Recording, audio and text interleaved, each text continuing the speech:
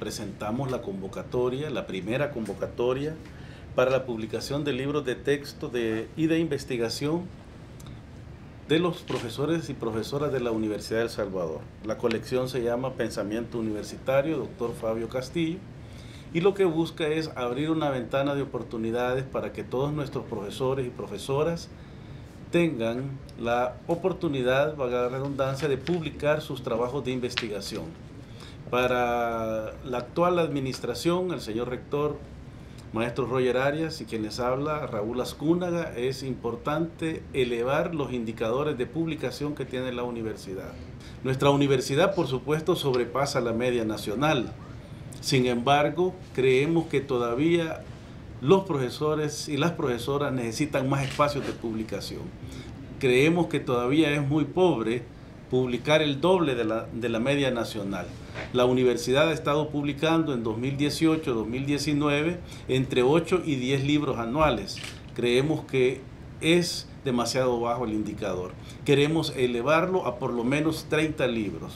Queremos publicar tres veces lo que se ha venido publicando.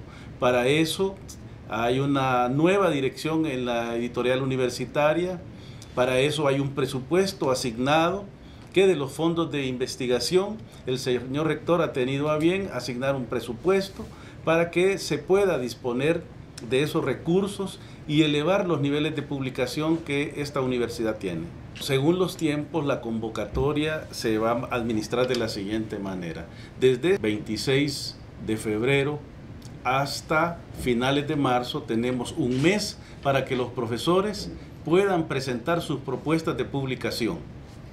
Posteriormente habrá tres meses en los cuales un jurado académico, curadores, eh, revisarán para dar el dictamen filológico de la propuesta y el dictamen temático en cuanto a la metodología principalmente de la investigación cuando se trata de reportes de investigación.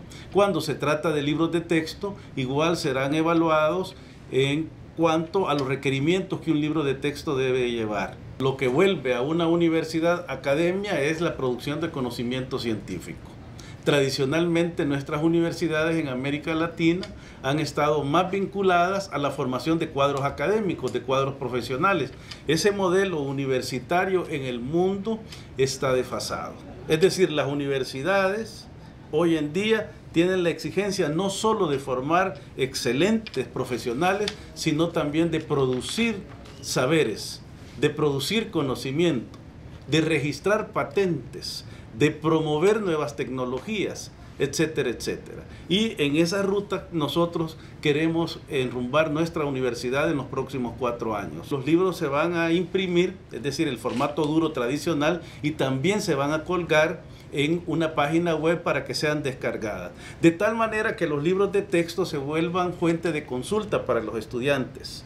De tal manera que vayamos creando también en nuestra universidad un sistema autoral, un sistema de autores con derechos, con reconocimiento y que esas experiencias académicas, como decía, no se pierdan.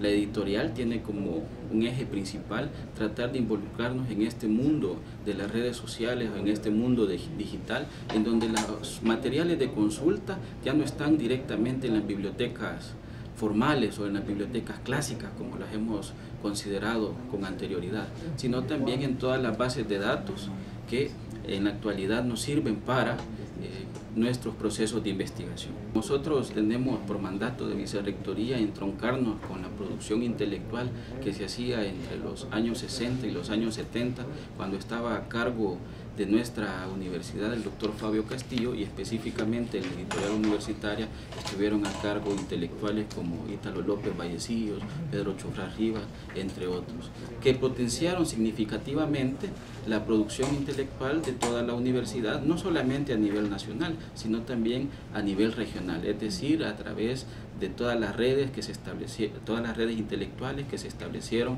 en Centroamérica, tales como el Educa, entre otros.